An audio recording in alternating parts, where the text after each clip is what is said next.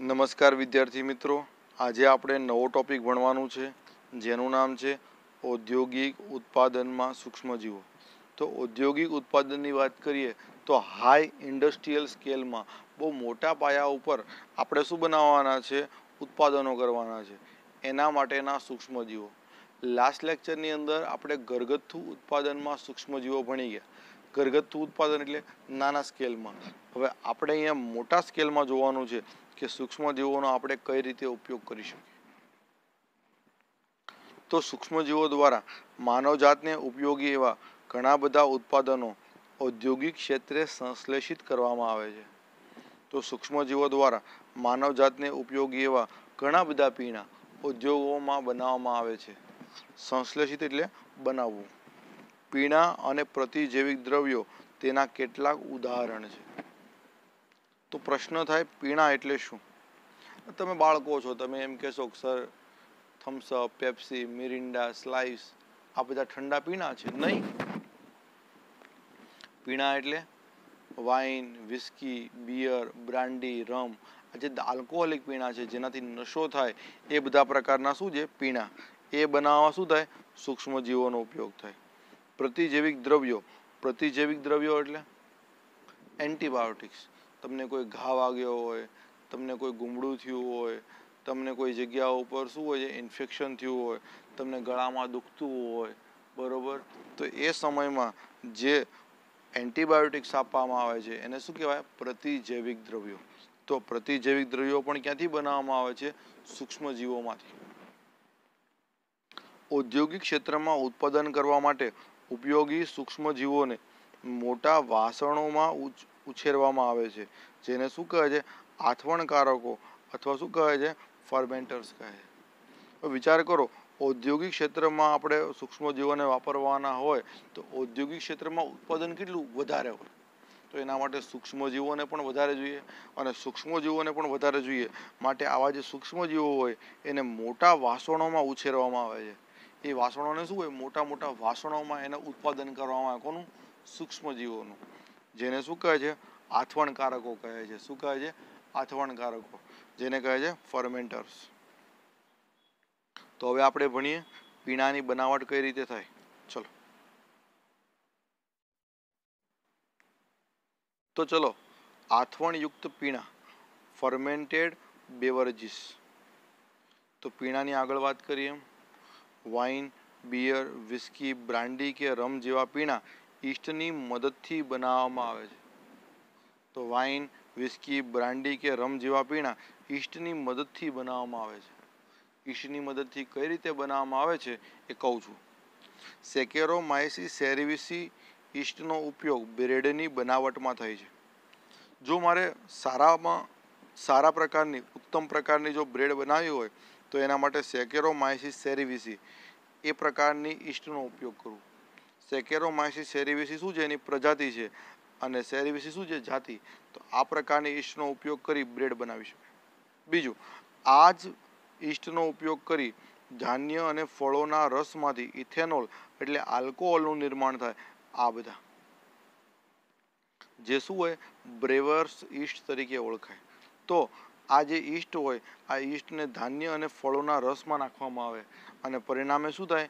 એમાંથી ઇથેનોલ, એટલે આલ્કોહોલનું નિર્માણ થાય અને જે શું હોય? બ્રેવર્સ ઇશ તરીકે ઓળખાય. યાદ રાખજો, આ ઇથેનોલ એટલે આ બધા પ્રકારના શું છે? પીણા એ શું છે? આલ્કોહોલ છે. કારણ કે યાદ રાખજો, આલ્કોહોલ જે છે એ શું છે? એ આલ્કોહોલ એટલે કે વન ટાઈપ ઓફ ઇથેનોલ. બરોબર? અને ઇથેનોલ કે આલ્કોહોલના પ્રકારને આધારે, એટલે કે એમાં રહેલા પર્સન્ટેજના આધારે આ બધાના નામ આપવામાં આવ્યા છે. ખબર પડી ગઈ? તો પર્સન્ટેજના આધારે શું હોય છે? આ બધા જે બ્રાન્ડી વિસ્કી બિયર વાઇન આ બધા શું છે? એના નામ છે, ખબર પડી? જેમ પર્સન્ટેજ વધે, એમ શું હોય છે? એનું નામ બદલાય. ગોટ ઇટ વાઇન અને બિયરનું ઉત્પાદન નિષેધન વિહીન પ્રક્રિયા દ્વારા થાય છે. યાદ રાખજો વાઇન અને બિયરનું ઉત્પાદન નિષેધન એટલે કે ડિસ્ટિલેશનની પ્રક્રિયા વગર. બરોબર? ડિસ્ટિલેશન કાંઈ કરવાનું નહીં, એમાં કોઈ પણ પ્રકારનું શુદ્ધિકરણ કરવાનું નહીં, એ પ્રકારની પ્રક્રિયા વિહીન થાય છે. અને જ્યારે વિસ્કી બ્રાન્ડી કે રમનું ઉત્પાદન નિષેધનની પ્રક્રિયા દ્વારા થાય છે વિસ્કી બ્રાન્ડી કે રમ છે, એને જો બનાવવા હોય, તો આપણે શું હોય છે? નિષેધનની પ્રક્રિયા કરવી પડે. નિષેધનની પ્રક્રિયા એટલે ડિસ્ટિલેશન શુદ્ધિકરણ. ગોટ ઇટ એટલી ખબર પડી ગઈ? ચલો, હજી થોડુંક કહી દો ડીપમાં વાત કરું. જો આ વાઇન અને બિયર છે ને, એક વસ્તુ યાદ રાખો વાઇનનું જે નિર્માણ છે ને ફળમાંથી થાય.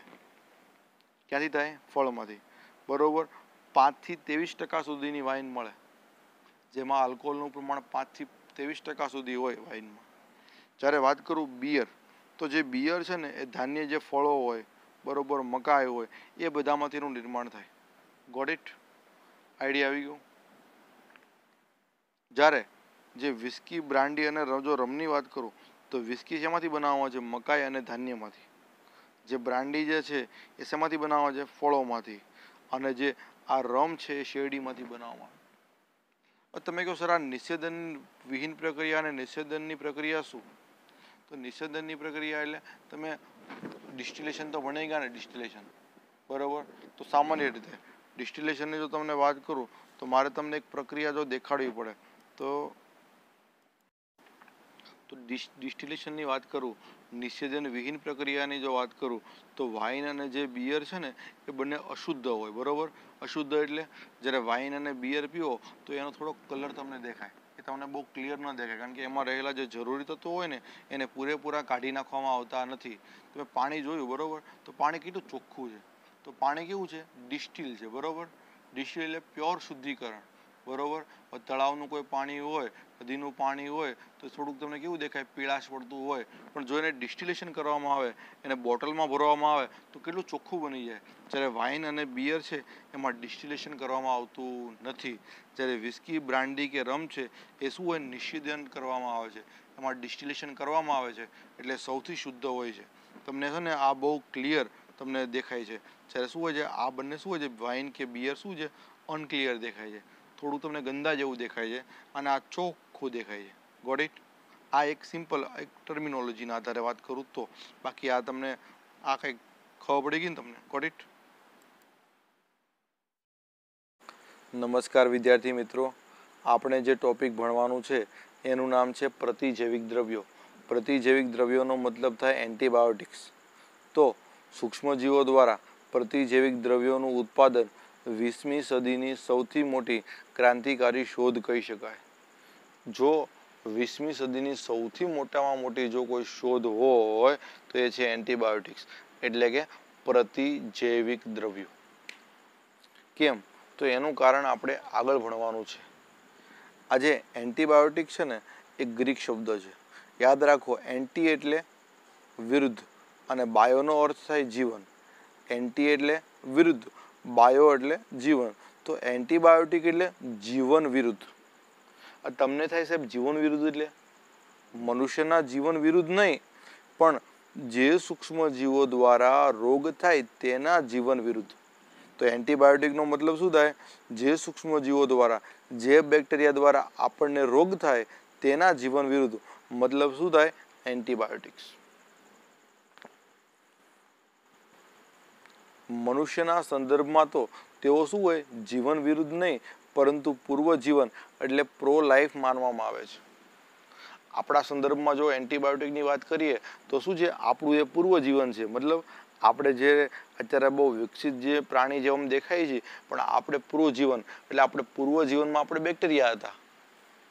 આપણો ક્રમશઃ બેક્ટેરિયામાંથી વિકાસ થઈને આપણે મનુષ્ય કાલાંતરે બન્યા છીએ.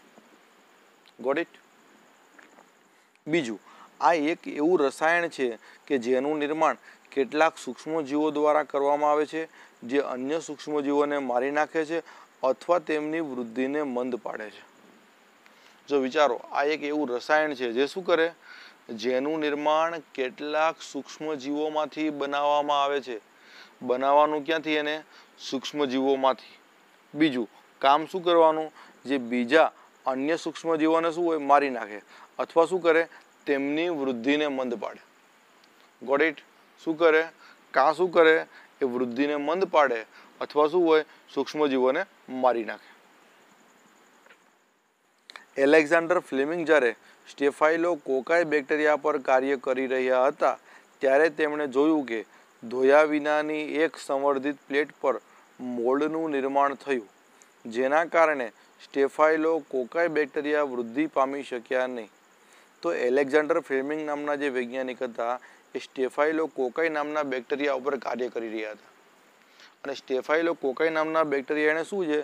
ધાતુની જે ધોયા વિનાની એક સંવર્ધિત પ્લેટ હોય એના ઉપર મૂક્યા. અને ધાતુની જ્યારે ધોયા વિનાની પ્લેટ ઉપર મૂક્યા, ત્યારે ધાતુની ધોયા વિનાની, વિચાર કરો, ધોયા વિનાની કોઈ વસ્તુ હોય એના ઉપર ફૂગ ચડી જાય. તો એના ઉપર એક મોલ્ડનું નિર્માણ થયું. એ ધાતુની ધોયા વિનાની પ્લેટ ઉપર મોલ્ડ એટલે એક ફૂગનું નિર્માણ થયું.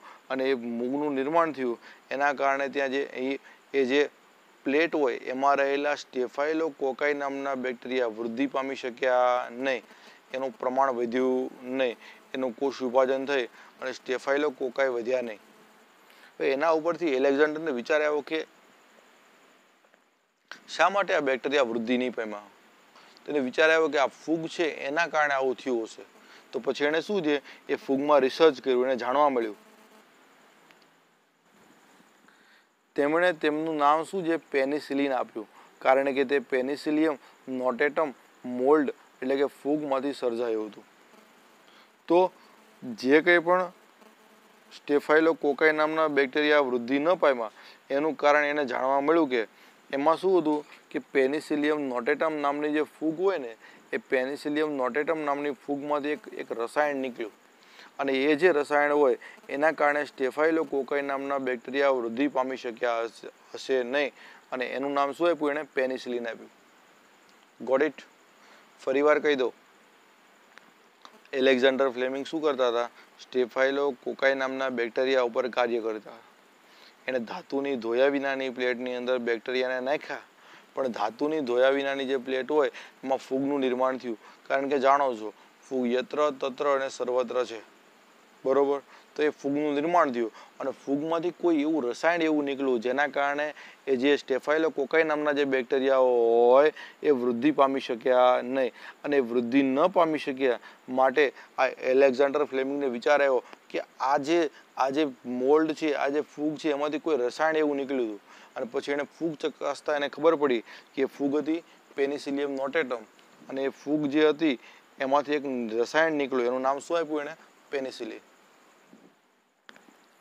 ત્યારબાદ ઘણા સમય પછી અર્નેસ્ટ ચેન અને હાવર્ડ ફ્લોરે એ પણ તીવ્ર ક્ષમતા ધરાવતી ઉપયોગી એન્ટીબાયોટિક તરીકે પ્રસ્થાપિત કરી. ત્યારબાદ શું છે? અર્નેસ્ટ ચેન અને હાવર્ડ ફ્લોરે શું છે? એન્ટીબાયોટિકમાં રિસર્ચ કર્યું અને આ એન્ટીબાયોટિકનો જે ઉપયોગ છે એ શું હોય છે? બીજા વિશ્વયુદ્ધમાં ઘાયલ અમેરિકી સૈનિકોની સારવાર કરવા માટે વ્યાપક રૂપમાં ઉપયોગ થયો. તો વિચાર કરો, પહેલાં તો કેવું છે કે યુદ્ધ થતું ને એટલે કોઈ તલવાર વાગતી કે ગોળી વાગતી માણસ મરી જતો, કારણ કે એમાં ઇન્ફેક્શન થઈ જતું. બેક્ટેરિયાનું ઇન્ફેક્શન થઈ જતું પણ અત્યારે તો કેવું છે, ઘણી બધી ગોળી વાગવા છતાં પણ માણસ બચી જાય. તો એનું કારણ શું છે? એન્ટીબાયોટિક આ એન્ટીબાયોટિક શું છે? જે ઇન્ફેક્શન લાગેલા જે બેક્ટેરિયા હોય, એ બેક્ટેરિયાને શું હોય છે? મારી નાખે છે. એન્ટીબાયોટિકનો જો સૌપ્રથમ કોઈ સારો ઉપયોગ થયો હોય, તો બીજા વિશ્વયુદ્ધમાં અમેરિકન સૈનિકોની સારવાર માટે. અને ઈસવીસન ઓગણીસો પિસ્તાલીસમાં આ ત્રણેયને શું હોય? નોબલ પુરસ્કારથી સન્માનિત કરવામાં આવ્યા. તો કોને કોને? અર્નેસ્ટ ચેન હાવર્ડ ફ્લોરે અને એલેક્ઝાન્ડર ફ્લેમિંગ છે. આ ત્રણેયને ઓગણીસો ને પિસ્તાલીસમાં શું હોય? નોબલ પુરસ્કાર મળ્યો યાદ રાખજો, નોબલ પુરસ્કાર મળવો બહુ અઘરો છે નોબલ પુરસ્કાર સદીઓમાં એકને મળે અને આ લોકોએ તો વીસમી સદીની શ્રેષ્ઠ શોધ કરી હતી. નોબલ પુરસ્કાર માટેની એક જોરદાર વાત કહી દો તમને. તમને બધા જ વિષયની અંદર નોબલ પુરસ્કાર મળે, પણ કોઈ દિવસ તમને મેથ્સમાં કોઈ રિસર્ચ કરો, તો તમને કોઈ દી નોબલ પુરસ્કાર મળે નહીં. એનું કારણ શું છે ખબર છે? જે નોબલ નામનો જે વૈજ્ઞાનિક હતો ને, એની પત્ની મેથ્સના ટીચર જોડે ભાગી ગઈ હતી. મેથ્સના શિક્ષક જોડે નોબલ, જે નોબલ નામનો વૈજ્ઞાનિક છે, એની પત્ની છે, એ મેથ્સના ટીચર સાથે ભાગી ગઈ હતી. માટે નોબલ પુરસ્કાર કોઈ દિવસ મેથ્સમાં કરો, મેથ્સમાં કોઈ પણ રિસર્ચ કરવામાં આવે, તો એનામાં આપવામાં આવતો નથી. આ એક મજા આવી વાત છે, બરોબર? ચલો બાય